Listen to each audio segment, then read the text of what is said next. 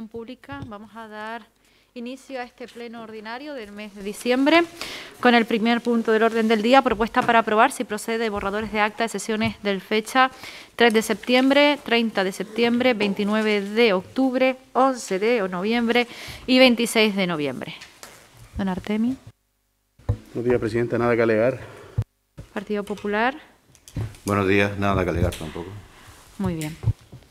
Pues nada.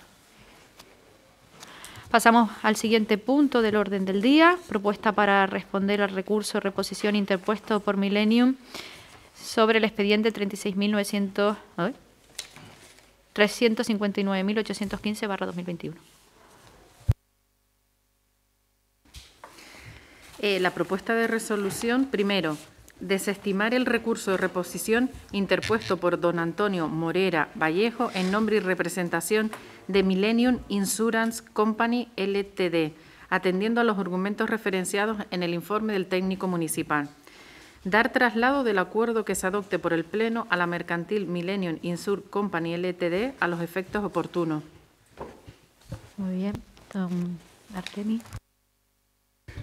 Sí, desde el Partido Socialista ya en pleno celebrado en este, en este salón anteriormente nos manifestamos en el momento en que se trajo el acuerdo, se votó el acuerdo para, para rescindir el contrato que nos ocupa. En este caso lo que se hace es mm, desestimar y resolver, por, por, lo tanto, un recurso interpuesto por una de las partes implicadas.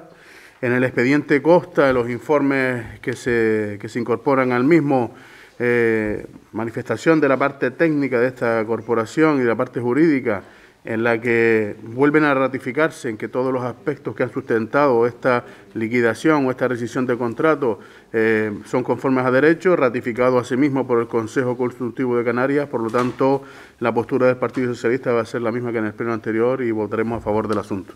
Muy bien, muchas gracias. ¿El Partido Popular? Bueno, en el sentido también, por supuesto, eh, nos hacemos nuestro el informe técnico y votaremos también a favor. Muy bien, eh, don Mensei Navarro. ¿Algo más? ¿Alguna intervención más? Sometemos a votación. ¿Votos a favor? Muy bien. Pasamos al siguiente punto del orden del día. Propuesta para desestimar recursos de reposición contra el acuerdo plenario 30 de septiembre de 2021 interpuesto por la entidad GoAway.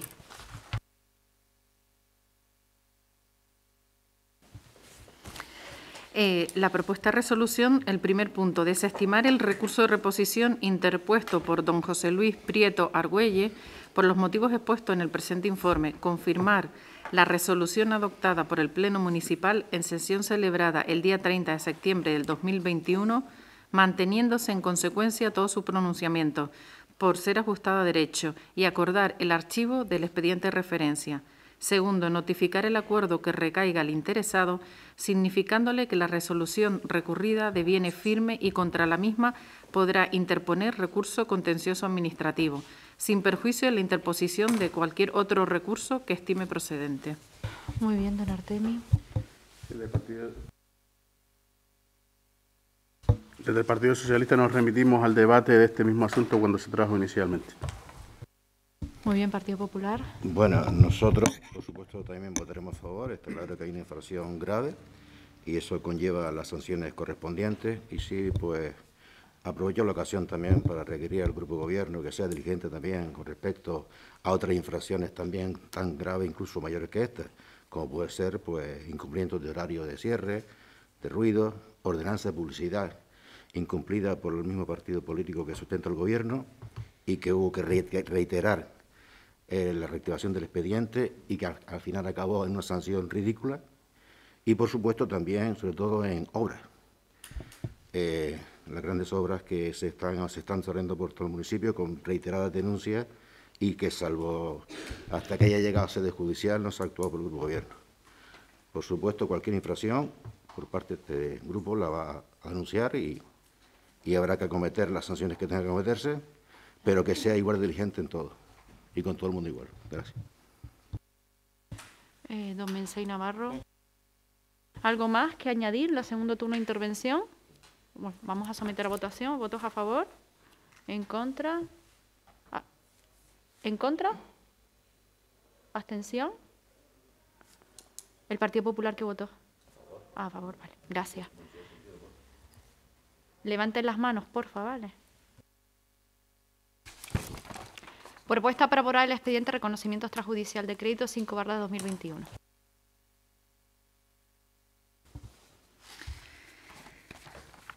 Propuesta, aprobar el expediente de reconocimiento extrajudicial de crédito REC 5-2021 para su imputación al presupuesto corriente por un importe total de 942.462,25 euros. Todo ello con arreglo a la relación que se acompaña en el informe.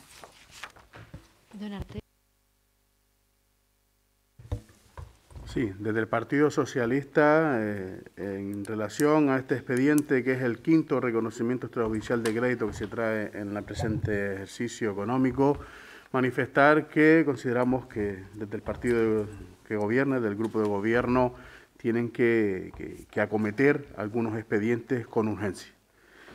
Y cuando digo con urgencia me refiero a- al meditado, al que se ha mencionado en muchas ocasiones en esta sesión plenaria, que es el de regularizar la situación del abasto de agua en el municipio, que llevan recopilando datos para, sobre los precios en todo el municipio prácticamente dos años y medio, en relación a las preguntas que se han ido, que se han ido manifestando en este, en este pleno. Por mi parte, volver a preguntar en qué estado se encuentra eh, este expediente, el del suministro de agua de abasto. También tienen que ponerse las pilas con el expediente eh, en relación a, la- a otorgar las ayudas de emergencia, que hace ya, quiero recordar, un año y tres meses, desde el último, eh, la última dotación presupuestaria que se hizo, modificación presupuestaria para incorporar en aquel entonces, creo recordar que era un millón de euros para ayudas de emergencia, se nos manifestó de que se estaba trabajando en la elaboración de un convenio con una entidad bancaria para salvar justamente estos reparos o estas ilegalidades que se están eh, produciendo a la hora de repartir estas ayudas. No seremos nosotros los que pongamos eh, palos en las ruedas, más si cabe cuando se trata de, sufragar los, los gastos básicos de aquellas familias que peor lo estén pasando, pero sí volvemos a preguntar, después de un año y medio prácticamente de la primera vez que lo hiciéramos, en qué estado se encuentra la regularización de, otorgar estas ayudas de, de emergencia. No vamos a entrar en la anécdota que pudiera ser de que si tan, tan mal les va que ni siquiera pueden licitar un gasto de 77 euros como el que aparece en este expediente.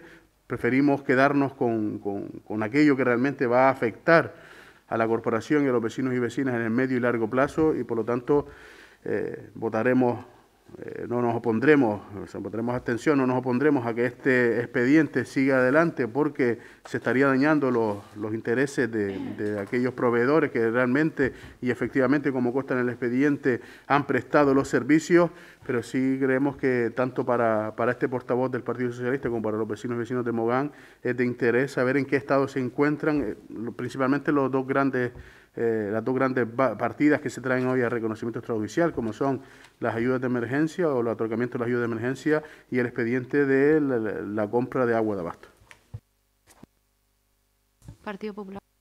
Bueno, nosotros en principio votamos a favor porque entendemos que dadas las circunstancias de la pandemia, la crisis sanitaria y crisis económica, pues entendemos perfectamente que, que no se pueda prever el nivel de gastos que tenga que haber en, ayuda de emergencia, pero también es verdad que esto solamente afecta a un 90% del reconocimiento del de crédito, ¿no? Y ya es una práctica muy habitual de este grupo de gobierno estar permanentemente un pleno sí, un pleno no, trayendo este tipo de expedientes a pleno, ¿no?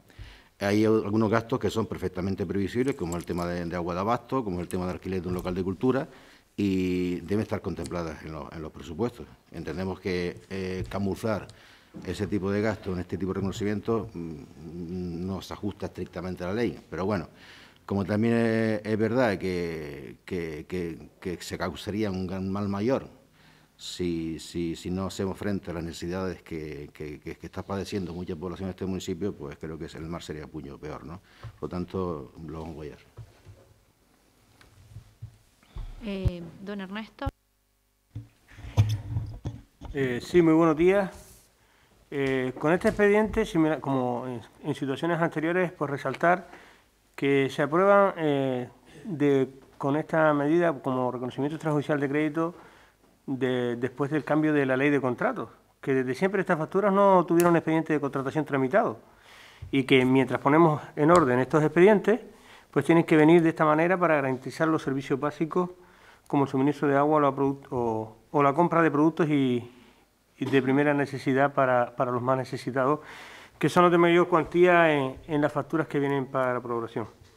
Recordar que durante todo este tiempo, eh, pues eh, evidentemente estos expedientes están en, contratación, están en ese proceso, pero que no hemos estado parados porque en este tiempo hemos ya tramitado pues facturas en eh, los expedientes de, teléfono, de electricidad, de cubas de agua y otros servicios que, si pueden recordar, venían en un inicio con este tipo de expedientes y que ya las cuantías y los importes ya son, la cantidad de facturas es mucho menor eh, por, este motivo, ¿no? porque hemos ido resolviendo esta serie de, expedientes. El, expediente del agua que, veníamos, que, que preguntaba, pues sí, pero es un expediente bastante complicado, son muchos suministradores en distintos puntos del municipio, eh, no es fácil, se está cotejando para que eh, los expedientes puedan salir lo mejor posible. Eh, un expediente mucho más sencillo como el de cubas de agua que resolvíamos recientemente, se nos quedó desierto hasta en tres ocasiones y era solo el de, el de cubas de agua. Quiero decir que para los técnicos de darle encaje y, cotejar todo el, suministro de agua al municipio, pues no es fácil, están en esa tarea. También tienen otras, otras muchas tareas que no solo están exclusivamente en este, en este contrato, y nosotros, pues como hemos dicho, pues seguimos caminando y prevemos que próximamente, porque somos también los primeros interesados en que las facturas dejen de venir eh, para aprobarse por esta vía. Eh, quería hacer un inciso, dejar a la compañera que Tania que aclarase cómo está el expediente de, de, los, de las facturas de, de alimentos y productos de primera necesidad. Doña Tania. En primer lugar, que creo que el compañero Artemio a la hora de expresarse puede dar a confusión a la población, no se está haciendo nada ilegal y las ayudas sociales están reguladas en una ordenanza y en una base reguladora. En segundo lugar, estuvo cuatro años conmigo como compañero y tampoco me tocó la puerta para decir la manera de cómo resolver esto. Y el Partido Popular estuvo 11 años y tampoco reguló esta, reguló esta situación. No quiero decir que no se esté trabajando con esto, sino que es muy difícil. Y les voy a poner varios ejemplos. Si saco un concurso y el concurso lo gana, por poner un ejemplo y nombrarlo, el Mercadona, la gente que tenga cero ingresos y que le esté dando ayuda de emergencia, por ejemplo, en Meneguera, para llegar al Mercadona, ¿cómo lo haría? Porque eso es muy difícil, porque estamos hablando de que entran cero euros en la casa. Y en segundo lugar, que estoy trabajando en una entidad bancaria, efectivamente llevo años intentando ponernos de acuerdo para un convenio, pero como ustedes saben, esa entidad bancaria, la cual ya he nombrado en otras ocasiones, CaixaBank, Bankia está con CaixaBank, se ha generado un inconveniente y un montón de problemas y ahora se sigue trabajando en ello. Y si quiere, el compañero que está aquí, Gonzalo, sabe perfectamente que estamos pendientes de una última reunión para definir finalmente con la Caixa cómo llevar ese convenio. Y él está presente, Atanasia también ha estudiado el convenio, David Chao, el secretario, también ha estudiado el convenio, es decir, no dejamos de trabajar para sacar esto. Que se haya tardado, sí, pero es que hay muchas cosas más. Y a, quien estamos afectando es a terceras personas con necesidades a las cuales si yo tomo una decisión errónea les puedo afectar y les puede afectar no llegando el alimento a la casa. Y yo sinceramente no me voy a arriesgar a eso. Entonces estoy dando todos los pasos que tengo que dar legalmente, no ilegalmente, para llegar a una forma de trabajo de esas ayudas correcta. Y de momento, como no ha salido, por eso se sigue trayendo de esta manera. Pero no es ilegal, porque si no, ninguno de los que estamos aquí levantaríamos la mano. Es lo que quería dejar claro. Pero el objetivo se cumplirá seguro. Muchas gracias. Don. Sí, nada, en el expediente de la compra de agua de abasto, pues se remiten algo que tanto criticaban al estamos trabajando en ello, pero ahora son ustedes los que se aplican el cuento, no sé si por, por acción o omisión. Yo sí, le, desde el Partido Socialista solicitamos que, que se impulse este expediente en relación al expediente de la otorgación de las ayudas de emergencia, por supuesto que desde el Partido Socialista somos conscientes y, valoramos la realidad en la que estamos, estamos desenvolviendo, ¿no? Pero simplemente, y de una rápida lectura del informe del interventor, señora Tania, se, puede desprender de que el, el expediente de reconocimiento extrajudicial de crédito justamente lo que viene es a posibilitar el pago de gastos que se han hecho incumpliendo la legislación, o sea, ilegales. Los pagos son ilegales y el que levantemos la mano en este expediente de reconocimiento extrajudicial de crédito como dicen los informes, todos los informes que se han venido trayendo a esta salud en plenario, no implica que se depuren las responsabilidades y no exime de que se pueda ir a sede judicial a reclamar justamente esas, esas responsabilidades que pudieran existir. Por lo tanto, que son ilegales, sí son ilegales, señora Tania, o por lo menos se han hecho sin seguir eh, o sin cumplir la legislación al efecto, que es la ley de contratos. Que el reconocimiento en, en pro de que no se produzca un enriquecimiento ilícito de la, de la administración y los costes que ello implica si tuviéramos que ir a los juzgados por parte de los proveedores del servicio eh, son los que sustentan este reconocimiento extrajudicial y estos acuerdos y que sustenta también que levantemos la mano. Ahí está la, la diferencia en lo que ha manifestado. Por lo demás, en todas aquellas ocasiones en las que se han traído partidas para, para ayudas de emergencia, hemos levantado la, la, mano a favor. En este caso no nos opondremos a que siga para adelante este reconocimiento extrajudicial de crédito, que lo que hace es eh, poder pagar estos gastos que se han eh, contraído sin cumplir la legislación y por lo demás espero que el resto de expedientes, como dije al inicio de mi intervención, se resuelvan lo antes posible por el bien de esta administración, por el bien de este municipio. Partido Popular. Bueno, yo también, en cuanto a la intervención de la concejal, decir que, eh, un poco ahondando en lo, que, en lo que comenta el portavoz del Partido Socialista, que efectivamente los reconocimientos de crédito son ilegales. De hecho, eh, en esos 12 años que estuve de alcalde, y que tuve que, tuve que a ver yo todo y no dejar nada para ustedes, pues en ese, en ese tiempo también estuve, además, estuve, estuve procesado. Procesado no, pero estoy imputado precisamente por reconocimiento extrajudicial de crédito, por denuncias de la oposición. Eh, no, terminado. Ah, pero, mm, bueno, sí, del Partido Socialista, efectivamente, la oposición. Eh, y en cuanto a que esto fue un tema que viene de la época del Partido Popular y que no fue, no lo resolvió, es que estamos siempre en la misma cantinela de que el particular no lo hizo, el Partido Popular no lo hizo, el Partido Popular no lo hizo, el Partido Popular hizo lo que pudo hacer en 12 años, que fueron muchísimas cosas, muchísimas cosas, con una normativa distinta a la que tenemos hoy.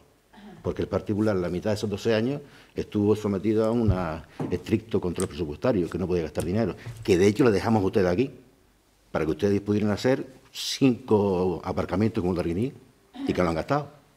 Por lo tanto, eh, si nosotros lo hubiéramos hecho todo, probablemente se hubiera acabado el mundo. O no hubiera hecho falta que, hubiera más corporaciones.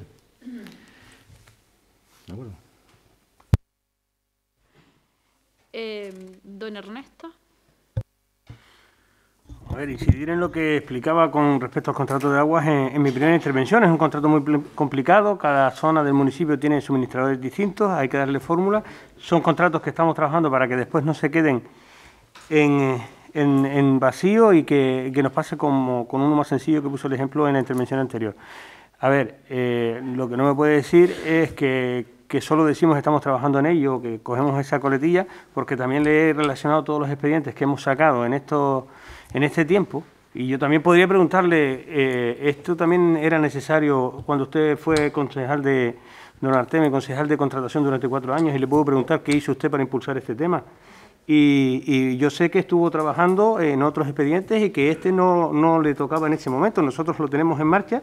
Es un expediente complicado y, como decía la compañera con respecto al de servicios sociales, no, no le quepa ninguna duda que lo sacaremos. Vamos a someter a votación. ¿Votos a favor? Señora alcaldesa, por alusiones, ¿puedo responder al sí, concejal? Sí, responda. Simplemente me dice que cuando yo estaba en el grupo de gobierno, ¿por qué no impulsé este expediente? Recordarle que en el mismo documento en el que se declaró la necesidad e idoneidad de los expedientes de electricidad, de los expedientes también eh, era electricidad, alumbrado y, el tercero que se declaró la necesidad de idoneidad cuando yo era concejal de Hacienda fue el de, el de abasto de agua potable. Por lo tanto, en mi época sí se impulsó y yo sí inicié estos expedientes. Otra cosa es que desde entonces se haya venido dando sistemáticamente la misma respuesta desde 2019 de que se están estudiando los precios por la complejidad del municipio. Hombre, ya después de prácticamente dos años y medio, yo creo que ya va tocando de que, de que se termine de perfilar esos precios. Por lo demás, eh, ratificarme en lo que he dicho en mi intervención. A ver, don Artemio, una cosa es iniciar el expediente y otra cosa es concluir el expediente. Usted inició el expediente, pero quien lo concluyó fue este grupo de gobierno. Es decir, dejemos las cosas claras y bueno, yo creo que esto no tiene mucho más debate y si no, le invito a que visite la plataforma de contratación del Ayuntamiento de Mogán para que vea que este municipio es de los pocos de Gran Canaria donde tiene un dinamismo en contratación, no solo en obras, sino también en suministros y en servicios. Así que una cosa es iniciar un expediente y otra cosa es concluir el expediente y usted sabe el trabajo que conlleva precisamente concluir un expediente en contratación. Vamos a someter a votación. ¿Votos a favor? ¿En contra? ¿Abstención? Vale. Propuesta eh, para dar respuesta a las alegaciones presentadas y aprobar definitivamente el presupuesto general del Ayuntamiento de Mogán para el ejercicio 2022. Perdón, alcaldesa, una cuestión de, orden. bueno, en el último pleno, parece ser que por parte de la misma alcaldesa se anunció que había un expediente que afectaba a un familiar directo mío. Eh, yo lo estaba mirando. Mire, eh, eso eh, no tiene nada que ver con el punto, ¿de acuerdo? Entonces, no tiene nada que ver con el punto porque estamos con la propuesta para dar respuesta a las alegaciones presentadas donde el Partido Popular no ha presentado, bueno, en relación a este expediente. No tiene nada que ver con lo que usted va a decir ahora. y no tiene la palabra, ¿de acuerdo? No tiene la palabra. Continúe, señora secretaria, por favor. Que me ausento, me tengo que levantar y marchar y no anunciarlo. Eh, primero, quiero explicar, la razón de por qué me ausento. Primero, es una, cuestión previa. Sí. Primero déjeme a mí, que yo soy la que ah, modero este pleno. Y después yo le daré la palabra cuando se estime oportuno en cuanto al reglamento. Le voy a dar la palabra para que anuncie eh, la secretaria el punto y después usted le daré la palabra, pero pídala con antelación, no antes de. Muchas gracias. Propuesta de acuerdo. Primero, no admitir a trámite la reclamación presentada por el PSOE respecto de la insuficiencia de crédito para gastos de emergencia social, para cultura, para inversiones en protección civil, museos y bibliotecas, ni las de Nueva Canarias respecto a los presupuestos participativos y mecanismos de participación ciudadana y respecto al establecimiento modificaciones de complementos específicos sin realizar una comparación de puestos ni utilizando criterios de ponderación. Segundo, admitir a trámite pero desestimar las reclamaciones administrativas presentadas por Nueva Canaria respecto de la remisión del presupuesto al Pleno fuera de plazo, la cuantificación de las previsiones de ingresos y de la falta de crédito para el servicio de depuración de agua, las presentadas por el PSOE respecto del incumplimiento de las reglas fiscales y las presentadas por UGT, CECIP y CIF. Tercero, aprobar definitivamente el presupuesto general del Ayuntamiento de Mogán para el ejercicio 2022, en los mismos términos en los que fue inicialmente aprobado en sesión plenaria de fecha 11 de octubre del 11 eh, de noviembre, perdón, del 2021.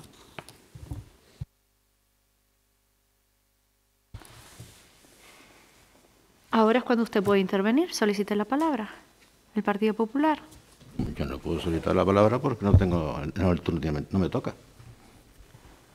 Estupendo. No, de todas eh, maneras, pero por eso lo que hice antes. Lo que no es normal es que yo esté aquí cuando me quiero sentar en un asunto que me compete. Es que ahora es cuando usted tiene que tomar la palabra y decir y argumentar lo que usted quiera argumentar, no con antelación al punto. Como usted diga, señora cabeza. Le estoy diciendo, tiene la palabra. No, como usted diga. Entonces la tengo. Eh, bueno, como antes quise exponer, pues por parte de la señora alcaldesa, en el último pleno se anunció que un familiar directo mío pues tenía interés en este presupuesto porque había una, reclamación de una expropiación. Eh, yo no lo sabía, ni siquiera lo sé, porque sé que no hay ninguna partida nominada con ningún nombre nominado ni, determinado para, para ningún pariente mío. Pero ante la duda, porque sí es verdad que existen partidas presupuestarias para expropiaciones, ante la duda, pues me voy a ausentar del plano. ¿eh? Muy bien. Don Artemi.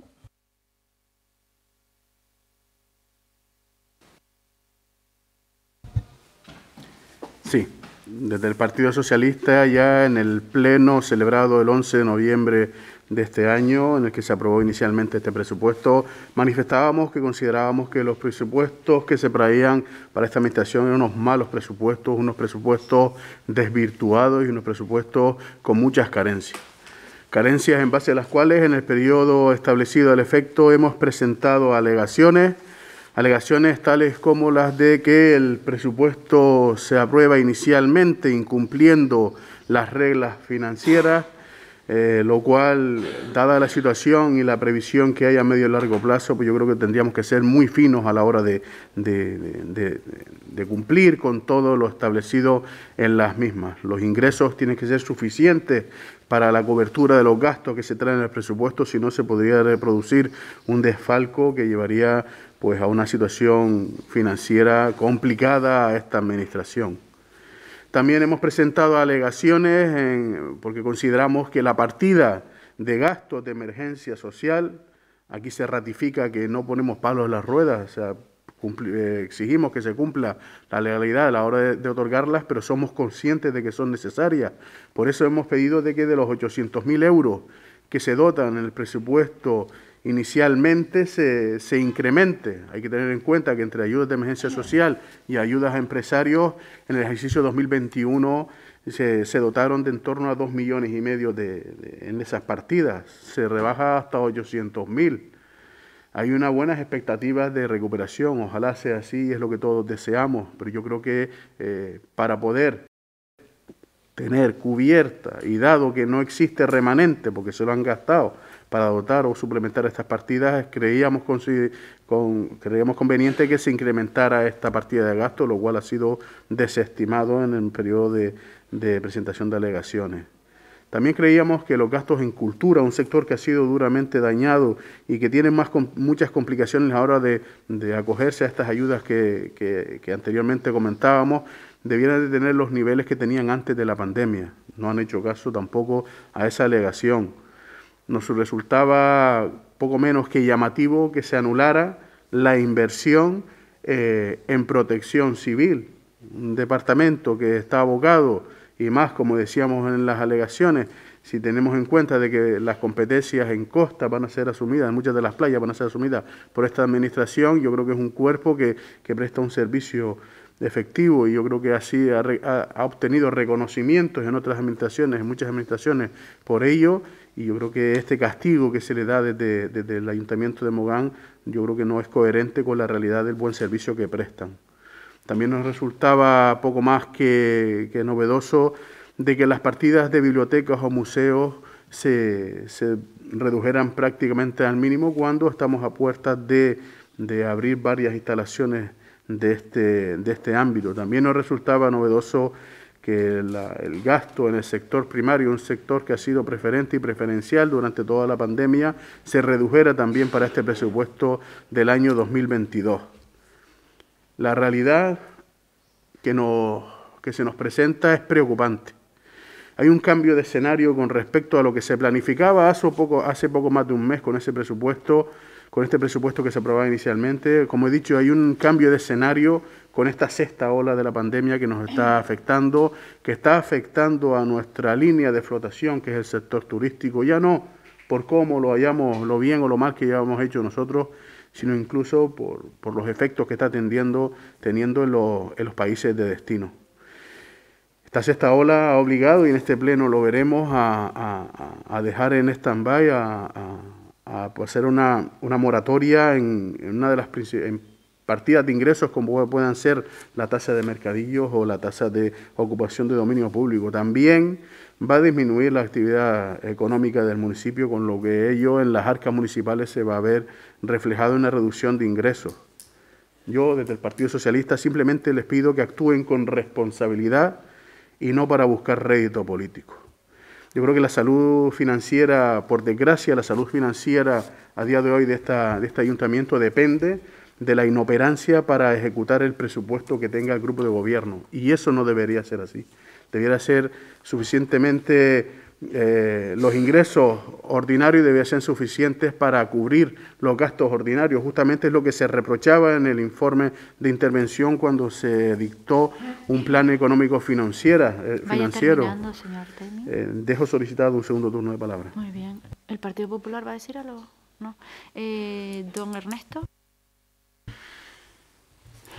Pues aprobamos hoy de manera definitiva unos presupuestos que, como decíamos en la aprobación inicial, contemplan 15,9 eh, millones para poder articular el pago de expropiaciones, como, eh, como ya dijimos, con cuatro expedientes eh, que son el complejo David Jiménez Silva por algo más de 8.400.000 euros, la Plaza Negra, 2 millones y medio, Rivera del Carmen, más de 1.600.000 y el Cercado, son las cuatro 2.800.000, son las cuatro parcelas que, que se ven afectadas. Esto hay que dejar siempre muy claro que no viene como eh, consecuencia de nuestra acción de gobierno, que son expedientes heredados de, corporaciones anteriores y que ojalá eh, corporaciones anteriores hubiesen actuado como estamos haciendo nosotros ahora, que aunque estos importes no son definitivos, ya vamos a dotarlo para que no se generen más intereses y, y, como pasó, por ejemplo, en el expediente del cementerio, intereses millonarios que hemos tenido que pagar durante estos años, más de 3 millones de euros.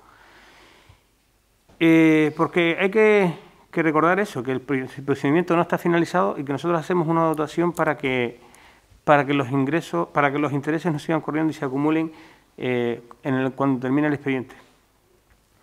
Eh, pero hay otros aspectos que destacar en, estos presupuestos, como que se incrementa un 20% la política social, sobre todo en dependencia. unos presupuestos que siguen apostando fuerte por los planes de empleo, y por los PFAE, por los planes de formación para desempleados.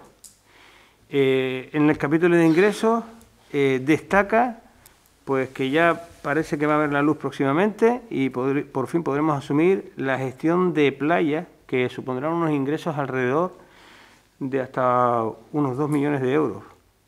Eh, otro expediente complicado que estaba de, de, la mano de Dios, que dependía de organismos superiores y que nuestra alcaldesa ha cogido pues, el toro por los cuernos y, supondrá un impulso considerable para las arcas municipales. Eh, como respuesta pues, un poco a la intervención de la, de la oposición, eh, las reglas financieras, como os he dicho múltiples veces, están suspendidas, no tenemos que, que asumir esas reglas porque, porque por la crisis están suspendidas y no tenemos que tener esos equilibrios. Eh, estaría bueno, es decir, estamos asumiendo los ayuntamientos la, las ayudas de dependencia de emergencia social, como bien ha dicho, incluso con modificaciones presupuestarias.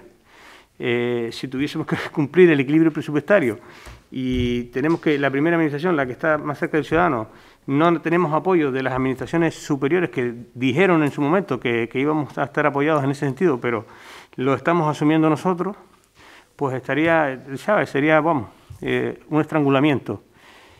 Eh, inversiones en protección civil.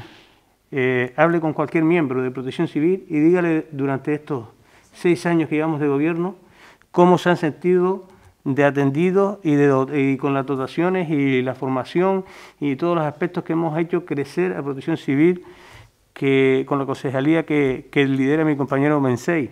Es decir, eh, y seguiremos atendiendo, ya se lo digo yo, porque muchas veces, y hay que explicar también a los ciudadanos, las acciones que vamos realizando no solo están condicionadas por el presupuesto municipal, sino con fondos que podemos ir eh, consiguiendo de otras administraciones, como por ejemplo en el caso del sector primario, que ya le aseguro que en el sector primario vamos a seguir con la misma línea que tenemos y que no va a notarse un ápice, nada de que pueda haber algo menos de presupuesto.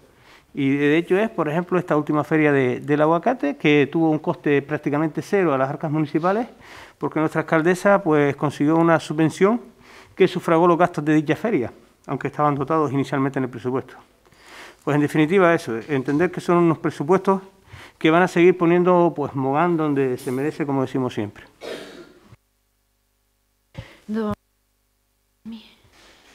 Sí, a Dios rogando y con el mazo dando a las otras administraciones cuando es para algo positivo eh, se lo callan y cuando es para algo negativo lo critican. Dicen que no reciben fondos de otras administraciones, pues yo creo que usted mismo es incoherente con el discurso que acaba de manifestar porque dice que se incrementan los gastos de dependencia, se incrementan los gastos en planes de empleo y en los PFAE y como bien sabrá, como concejal de Hacienda, una gran parte de esta partida viene sufragada justamente por otras administraciones, igual que lo vienen los gastos, en este caso, para, para muchas de las obras y también, como ha dicho, para la Feria del Aguacate, la Feria del, del Atún también vinieron gastos de, de, fuera. No se puede ser solo para lo malo y no para lo bueno. Pero bueno, es simplemente, yo creo que es meramente anecdótico.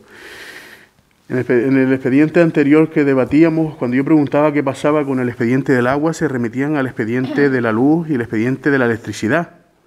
Estamos, yo preguntaba por el expediente del agua Estamos en el presupuesto 2022 en protección civil, cuando lo digo por qué no se incluyen inversiones en el presupuesto 2022 para, para protección civil, me dicen que en presupuestos anteriores se han dotado, por supuesto. Pero estamos debatiendo el presupuesto 2022, es lo que nos trae a, colación ahora. No obstante, voy a seguir con la intervención anterior, porque yo creo que, que, como he dicho, le pedía a ustedes responsabilidad a la hora de ejecutar este presupuesto, un presupuesto en el que los ingresos se van a ver mermados, no se ha modificado la tasa de recogida de residuos y se dota totalmente a partir de ingresos por esa tasa. No se ha iniciado, no se tiene todavía las competencias de playas y se dotan, usted mismo lo ha manifestado, en torno a dos millones de euros de ingresos de, por, por cánones al respecto. Se van a recortar o se van a poner en moratoria tasas como la de mercadillos, ocupación de espacios públicos y se ha dotado totalmente los ingresos eh, como si se fuera a cobrar el año completo. Les pido responsabilidad desde el Partido Socialista también la vamos a tener. Sabemos que el presupuesto es la principal herramienta en la que se sustentan las políticas eh, que se desarrollan en la administración local y por eso, a pesar de todo lo manifestado, siendo coherentes con este discurso de responsabilidad que le pedimos a la Administración, vamos a votar a favor del expediente. Muy bien. A ver, yo sí le quería decir varias cosas. En referencia, usted dice que con este presupuesto no buscar rédito político. Nosotros no buscamos rédito político, pero sí nos chirría que usted, por primera vez en la oposición, hable de protección civil y del castigo que recibe protección civil. Mire, los presupuestos con protección civil se pactan con protección civil y son ellos los que nos dicen cuáles son sus necesidades año a año. Y si en la partida económica del presupuesto está la partida que es, es porque ellos nos han dicho que no necesitan más. Entonces, primero, primero, primer argumento. Eh, usted hace referencia que eh, nos quejamos que otras administraciones no recibimos fondos de otras administraciones y demás. Mire, Claro que recibimos fondos de otras administraciones, pero porque este ayuntamiento se presenta a todas las convocatorias, porque estaría bueno que no nos presentáramos a todas las convocatorias de concurrencia pública, pública, como el resto de todos los ayuntamientos de España y de Canarias. Entonces, bonito fuera que el ayuntamiento no se presenta a las convocatorias públicas precisamente para beneficiarse de servicios u obras, ¿vale?, que beneficien al municipio de Mogán. O, bonito fuera, que esta alcaldesa no estuviera en los despachos de otras administraciones, otros consejeros del Cabildo, del Gobierno de Canarias, precisamente eh, peleando por recursos para el municipio, porque sabemos que con el presupuesto únicamente municipal, pues estaríamos bastante encorsetados en la mejora de las eh, obras y servicios en este municipio. Esta semana salía en, los medios de comunicación que Mogán, junto con Galdar y Arucas, a nivel nacional, es el que mayor inversión por habitantes eh, llevaba a cabo por acción social. Esto es un ejemplo perfecto ¿eh? de que Mogán se está invirtiendo por las personas. Y no lo digo yo, viene en un estudio hecho a nivel nacional. Mogán, Galdar y Aruca. Y en referencia, don Artemi, usted sabe que un presupuesto es un presupuesto, los presupuestos son una materia viva. Es decir, eh, los presupuestos no es un documento que traemos aquí, que lo tenemos que traer, pero después eh, que no se puede modificar. Sabe usted perfectamente, como concejal que fue de Hacienda, que es una materia viva. Y no conozco ninguna administración que no modifique presupuestos a lo largo de, la vida del propio presupuesto a lo largo del año. Debemos de estar de enhorabuena porque ha sido un récord por parte y felicitar al equipo de Hacienda por parte del Ayuntamiento de Mogán, que hoy es 23 de diciembre y antes del 1 de enero ya entra en vigor el presupuesto para el año que viene, que es la herramienta que tenemos precisamente para continuar nuestra labor como grupo de gobierno. Por tanto, simplemente era matizar eso. Eh, no sé si Ernesto te queda un minuto, ¿quieres matizar algo más? No, era, bueno, simplemente tenía previsto eh, eh, que interpretó mal lo que le decía sobre las ayudas de otras administraciones, yo me refería a que el incremento de dos millones de euros que hemos tenido que soportar esta administración para ayudas de emergencia, se suponía que iban a venir, que nos iban a ayudar las administraciones superiores y las hemos tenido que atender con fondos propios. Eh, pero también me dice que, no cumplo las reglas fiscales. Si yo tuviese que asumir los dos millones el incremento de, ayuda social que se ha producido por la crisis, pero al mismo tiempo tuviese que, cumplir las reglas fiscales, pues nos, produciría un estrangulamiento eh, a esta administración. Era lo que quería decirle. Y que de esa, de esos dos millones es donde yo he hecho de menos ayudas que se, hicieron, se publicaron en, los medios de comunicación que, íbamos a estar eh, eh, ayudados los ayuntamientos y, mínimamente cantidades residuales es lo que hemos venido a recibir. Y yo pues también tenía pues preparado eso, ¿no? de, decir por último eh, agradecer al, el, equipo, el trabajo hecho por el equipo económico de este ayuntamiento, con el interventor aquí a la cabeza. Se le ha acabado su turno, señor. Para, eh, para elaborar estos presupuestos en tiempo y forma. Gracias. Venga, vamos a someter a votación. ¿Votos a favor? Pasamos al siguiente punto del orden del día. Propuesta para aprobar inicialmente la modificación de la ordenanza fiscal reguladora de impuestos sobre construcción, instalaciones y obras. Primero, aprobar por el Pleno con carácter provisional la modificación de la ordenanza fiscal reguladora del impuesto sobre construcciones, instalaciones y obras, que se recoge en el anexo del presente acuerdo. Segundo, exponer al público el presente acuerdo en el tablón de anuncios del Ayuntamiento y en el Boletín Oficial de la provincia por un plazo de 30 días, a fin de que los interesados puedan examinar los expedientes y presentar las reclamaciones que estimen oportunas. Tercero, aprobar definitivamente el acuerdo por el Pleno, resolviendo las reclamaciones que se hubieran presentado una vez transcurrido el plazo de exposición pública anterior. En el supuesto de que no se presenten reclamaciones en el plazo conferido, el acuerdo provisional se entenderá elevado automáticamente a definitivo, sin necesidad de un nuevo acuerdo plenario.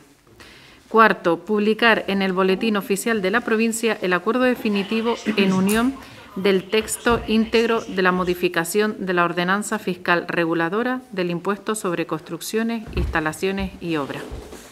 Una cosita, el Partido Popular que votó en el presupuesto. ¿Qué votaron dos, ustedes dos en el presupuesto? Abstención.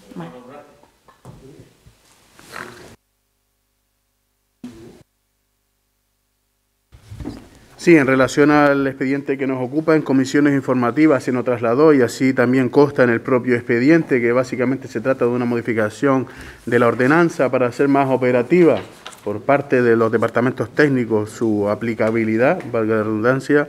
Por lo tanto, no tenemos nada que objetar y votaremos a favor del asunto.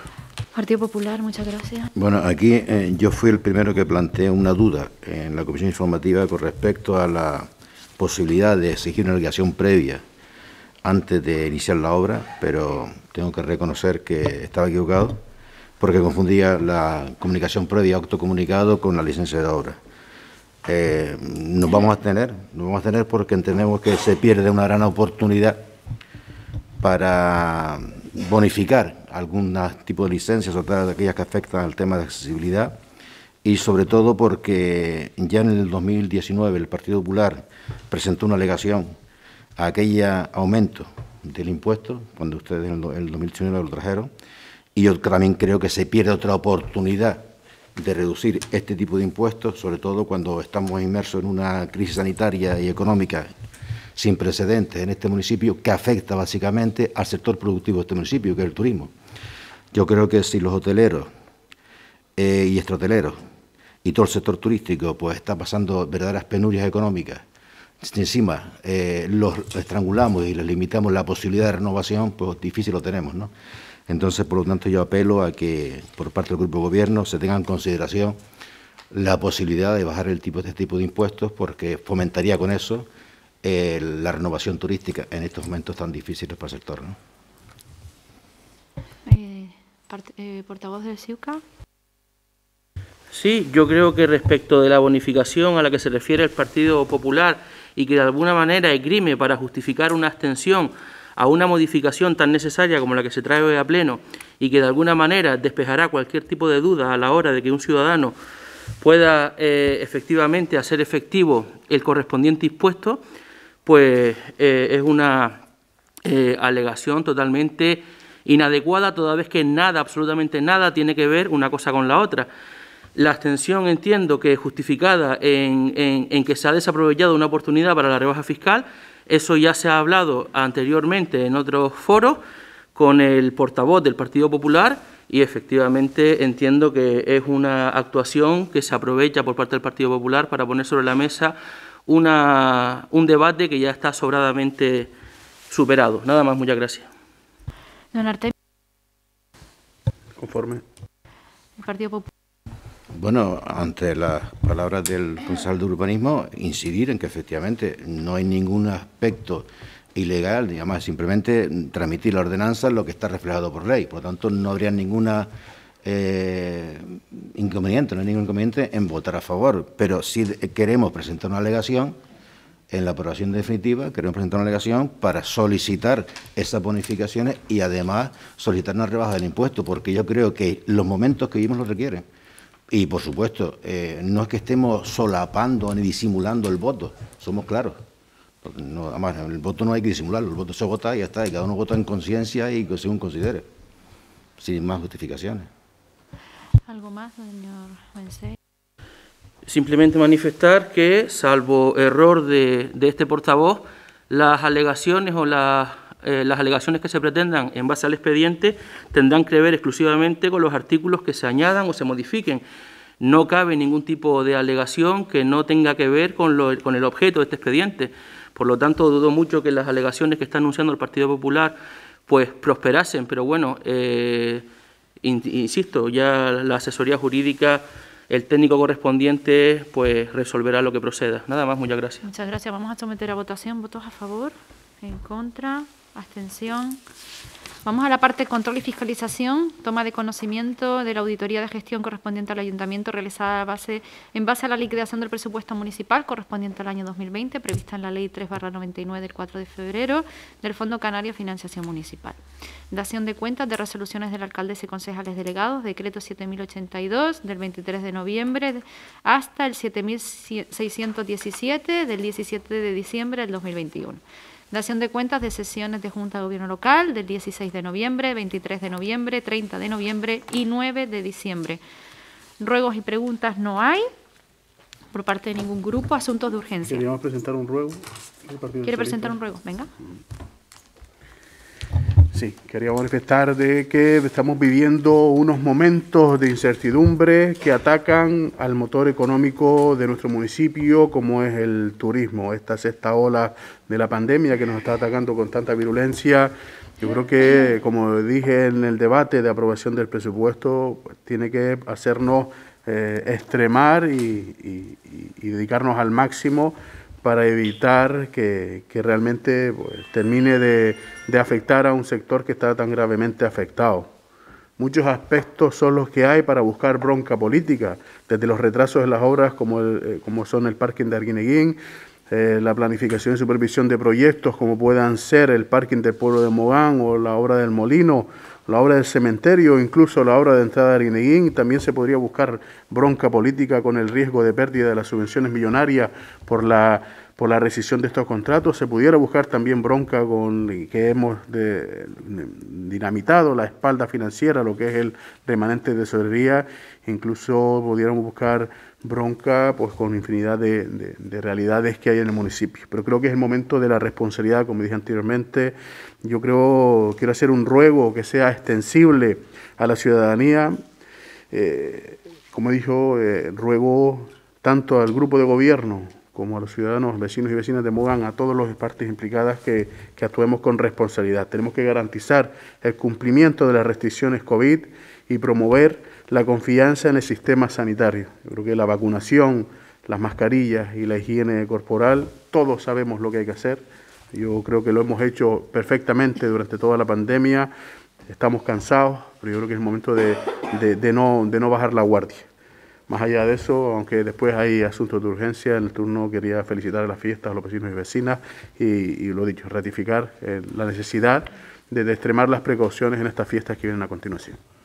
Muy bien, muchas gracias. Dos asuntos de urgencia. Propuesta para aprobar inicialmente la modificación de la ordenanza fiscal reguladora de la tasa por la utilización privativa o el aprovechamiento especial de dominio público mediante la instalación de puestos de venta en los mercadillos municipales y en zonas comunes de los centros comerciales.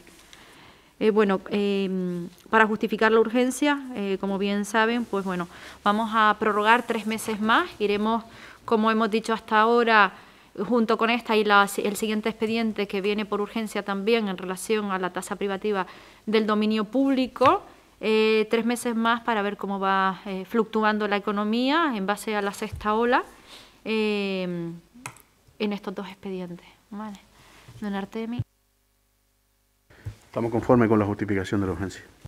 Partido Popular. Sí, conforme también. Eh, don Mensei. Conforme. Vale, vamos a someter a votación entonces. ¿Votos a favor de la urgencia?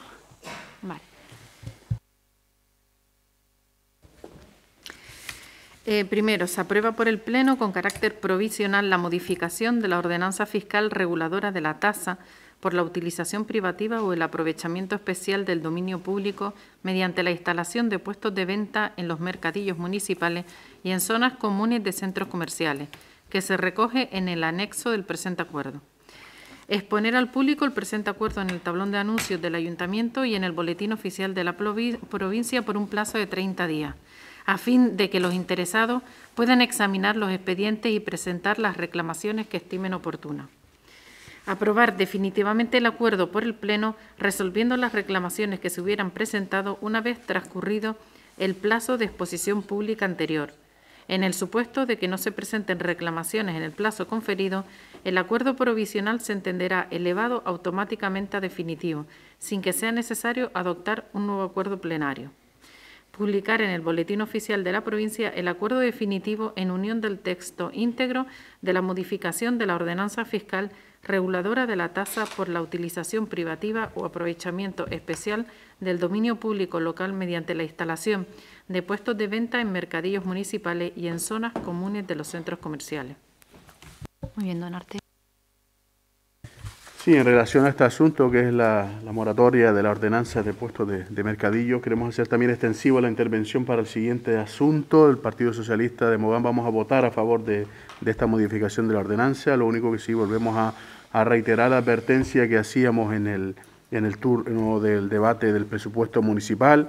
Este acuerdo que vamos a tomar hoy, a posteriori de la aprobación, ya está aprobado el presupuesto, va a implicar una reducción en los ingresos.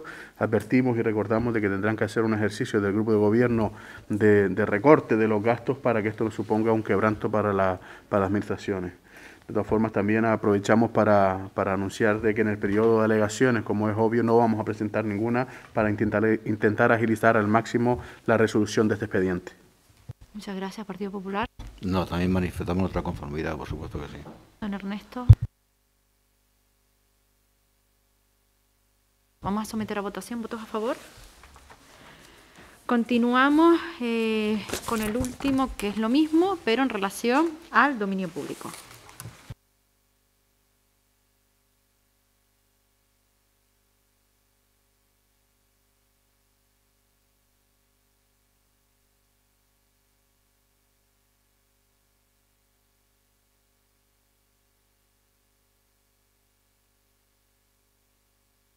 Bueno, la urgencia es la misma que la anterior vez. Eh, vamos a votar la urgencia en relación, bueno, a votar la urgencia. ¿Algo que añadir, eh, Partido Popular?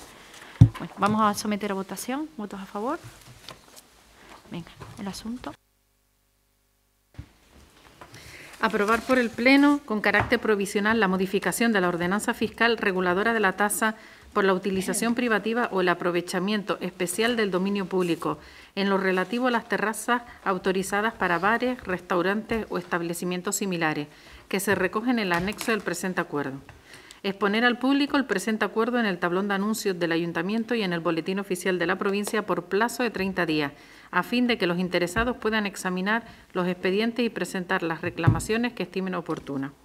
Aprobar definitivamente el acuerdo por el Pleno, resolviendo las reclamaciones que se hubieran presentado una vez transcurrido el plazo de exposición pública anterior.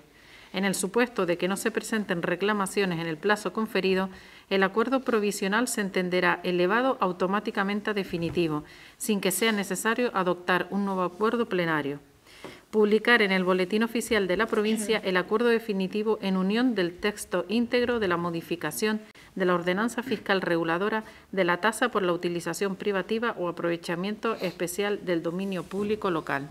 Muy bien, don Artemi, ¿algo que añadir? Me remite la intervención en el punto anterior. Partido Popular. Bueno, yo soy, me lo permite la señora alcaldesa, en este asunto, por supuesto, vamos a votar también, el voto va a ser afirmativo, favorable. Eh, simplemente, si me lo permite, eh, tomar la palabra para felicitar las Navidades a, todos los funcionarios y empleados de esta casa, por supuesto a la corporación y, por supuesto especialmente a todos los vecinos y vecinas de este municipio. Muchas gracias. Muchas gracias. ¿Algo más que añadir? Pues bueno, nosotros también, como no puede ser, en nombre de toda la corporación, felicitamos a todos los vecinos y vecinas del municipio estas Navidades y una entrada de un buen año 2022 para todos. Como hemos dicho con anteriormente y en otras ocasiones, eh, hay que garantizar la salud, ser responsables y más con esta sexta ola. El municipio de Mogán es uno de los municipios de Canarias con una alta tasa de contagios. Hay a día de hoy cerca de 100 personas ya contagiadas y más de 400 personas en seguimiento. Por tanto, esto va más. Eh, todos los científicos, todos los órganos eh, competentes dicen que tenemos que extremar las precauciones, sobre todo mañana en la cena de Navidad, intentar que los grupos sean reducidos y sobre todo intentar evitar que aquellas personas con alto riesgo preservar su seguridad porque sabemos que, si bien es cierto, aquellos que tengamos la pauta completa no exime de que seamos también contagiados. Así que, por favor, les pedimos responsabilidad individual a cada uno, un esfuerzo más por parte de todos, a ver si entre todos podemos entrar un 2022 eh, con salud y garantía. Muchísimas gracias. Eh, se levanta la sesión.